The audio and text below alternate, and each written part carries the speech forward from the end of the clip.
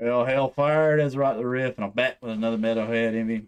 And uh, just saw this pop up, and it says fixed audio. I didn't even know there was a version with bad audio. Uh, I'm a big Kiesel fan, huge, huge Kiesel fan. Uh, I'm hoping one day I can be a good enough guitarist to have a signature model with him. I've got the Kiesel on the wall and the carving. And so I saw I saw this the other day, and then that's why I guess it was five hours ago that they reposted with fixed audio. But uh, the Zenith Passage Synaptic Deprivation Guitar Playthrough. I know I've heard of the name Zenith Passage. I don't think I've ever really dived into them, uh, but I probably will because they're Kiesel artists. And uh, let's dive on in.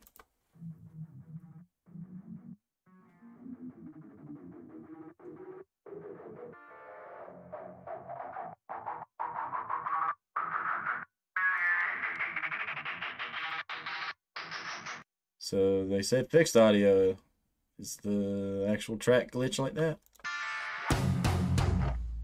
Ooh. Hold on. We've got to. Damn it.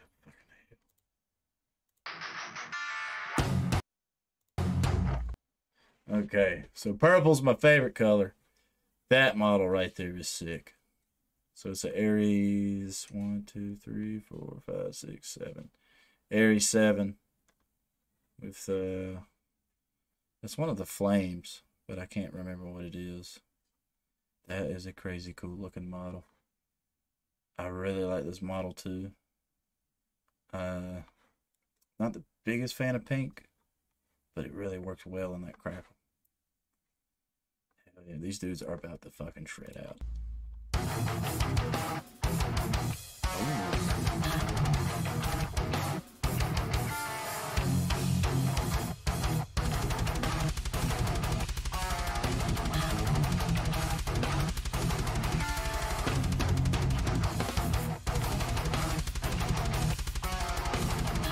Damn. I'm looking at their picking hands. Uh, this is a true envy. I wish I could play as good as these dudes right now. I don't know their names, but their picking hands and technique is fucking sick nasty.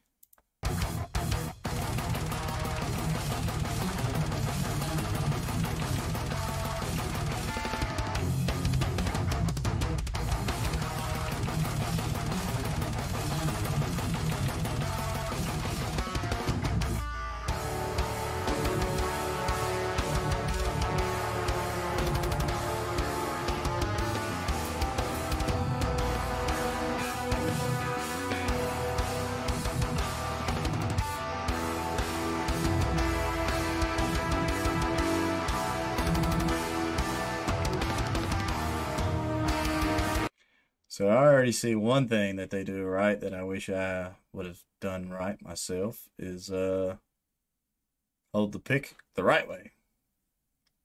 Because they're holding it. So if you have the pick, they're holding it between those fingers and forward. Whereas when I play, I hold the pick with three fingers and backwards like that. But daggone, they are shredding out. They even got fucking purple LED lights in the top of the amps. That's so cool.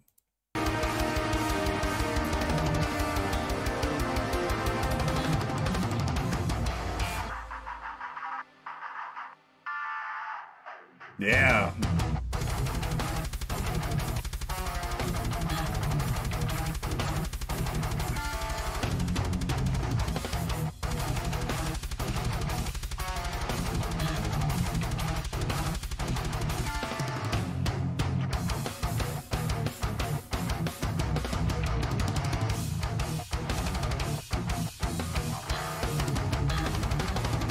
This makes me so excited to shoot another guitar playthrough, especially with some of the uh, tracks that we're cooking up on the my band second album.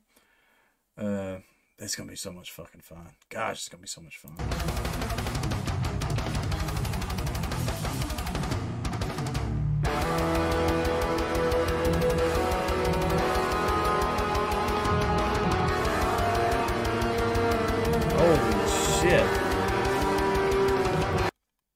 I crazy or did that guitar lead tone just like go super loud compared to the rest of the track?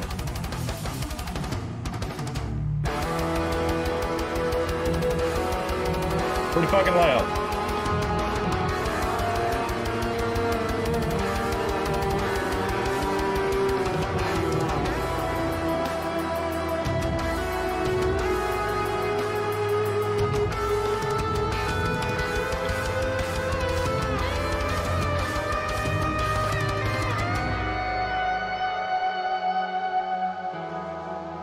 I really like that section.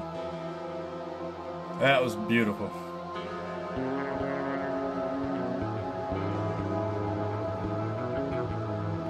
That's the bass. That's cool.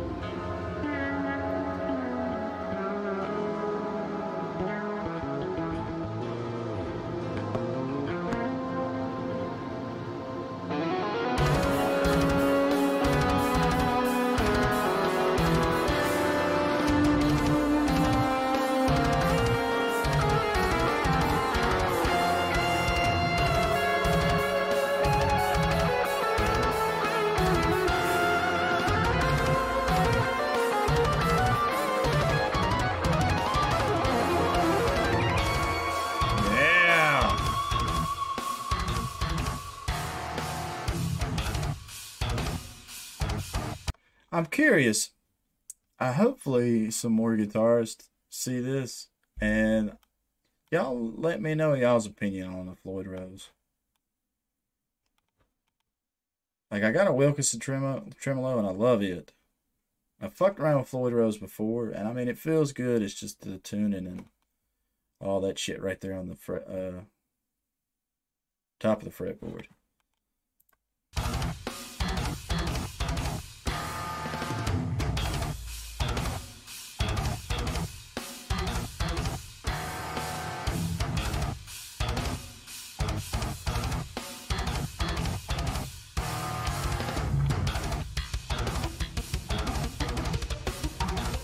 Oh, that's a cool set.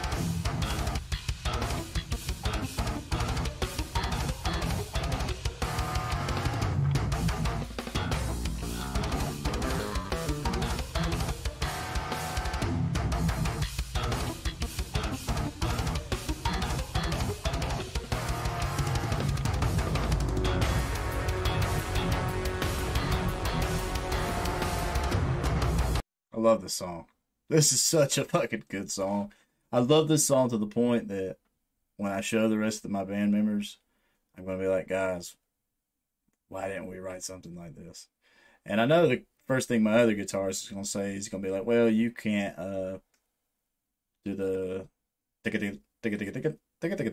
you can't do that shit that well, which I really can't. Uh, I am probably that is one of my weakest elements is my right hand and trying to nail rhythms like that. I'm fucking terrible, but I love it so much. I think part of the reason why I love that style of stuff is because I can't do it. I think once I figure out the trick and the secret on how to be that tight when it comes to uh, my picking hand, I might not love it as much. The mystery might be gone.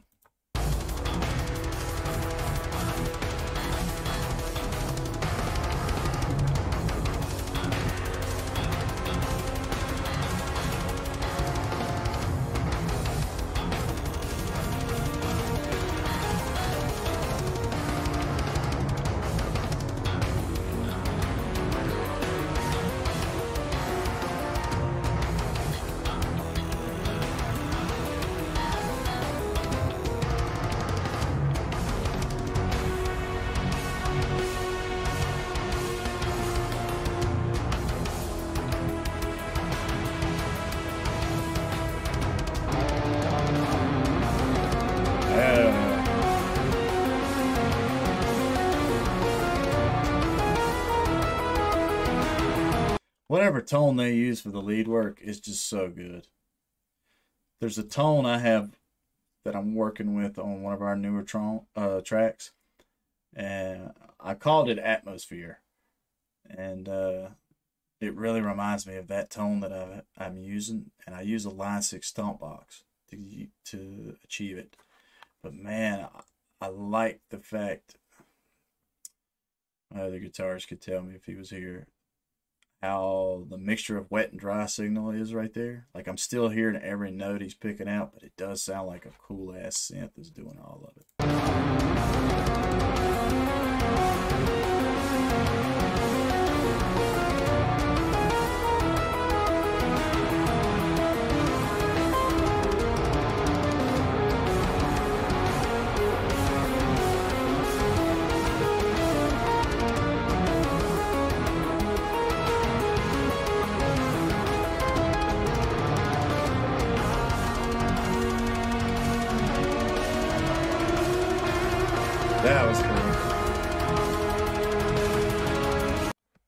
That was really cool. Was that like the reverse? So push the whammy all the way down, hit the string, and then rise up. Shit, I didn't back up far enough. Sounds like a siren if I get back up to the right damn spot.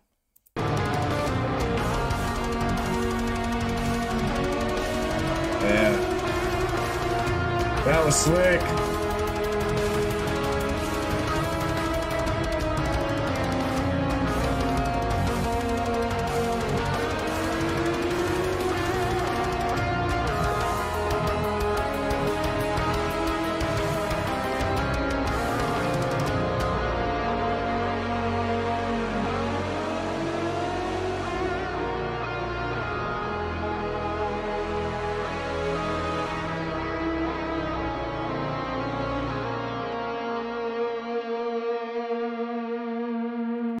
That was a beautiful song. That was a fucking beautiful song. Oh man, I'm about to dive into the Zenith Passage once I get done recording this. That's two thumbs with an extra set of two. That's four thumbs up all the way.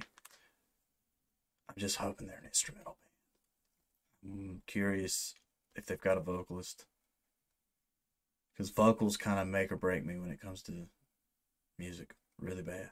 I'm really bad for that.